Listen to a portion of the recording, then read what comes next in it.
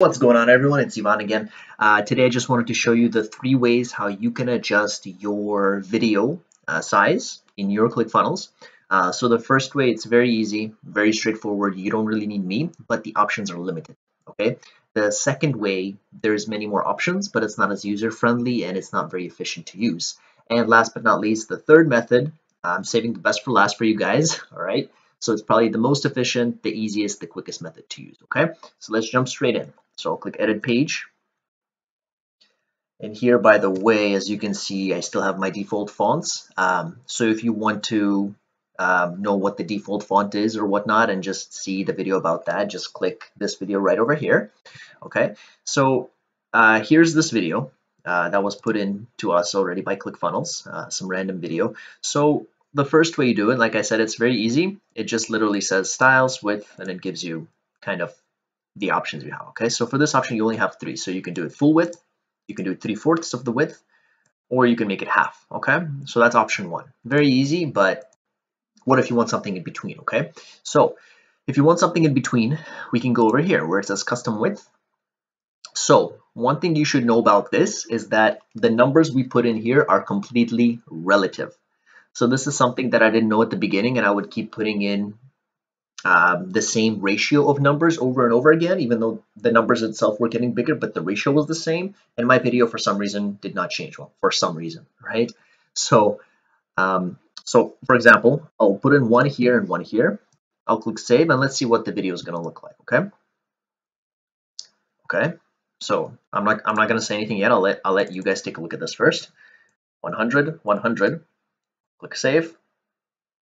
Okay, so it looks exactly, exactly the same. Click 500. Looks exactly, exactly the same. Okay, so in conclusion, the numbers here are completely relative to one another. So if you have 500, 500, what the system is giving you is one to one. That means your height is going to be as big as your width.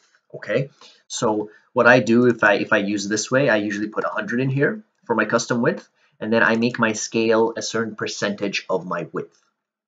So uh, for example, if I want my height to be, you know, something that looks like this, maybe it's about 60%. So if I put in 60% here, I'll click save. What this is saying that there's 10 width pixels or whatever it is, right? 10 width dimensions um, for every six of height, okay? So click preview, and that's about what it is, okay?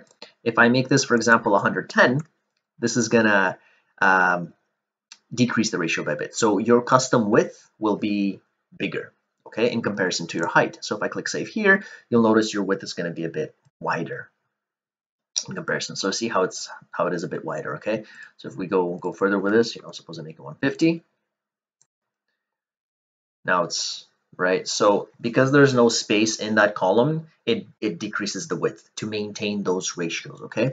So this option's there, but it's not as user-friendly, uh, and you also have to click Save before you click Preview. So to me, it's not the most efficient way. So what is the most efficient way is actually um, the same way we use to add borders to individual columns and multi-column rows, um, which is another video you can see right over here.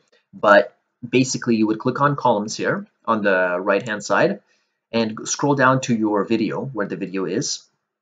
Click right column and then all you have to do to adjust the size of the video really simple guys is just um, scroll this. That's it. So if you make it 200 it's going to be as small as the video could possibly be. If you make it um, zero is going to be as big as it possibly can be. So this is exactly the in between right? So you can play around with this make it whatever you want to okay? So that's about it Thanks for watching. If you guys have any questions, comments, concerns, um, please write them down below. Please subscribe, and I'll see you guys next time.